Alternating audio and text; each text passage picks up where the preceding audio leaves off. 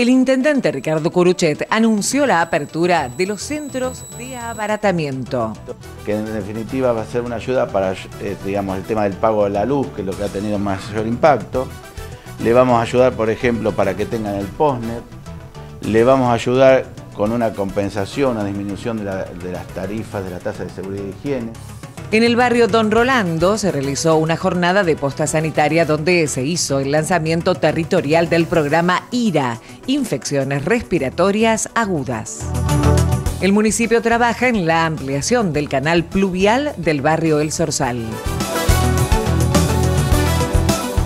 Las cuadrillas de obras y servicios continúan con el hormigonado sobre la calle Moreno.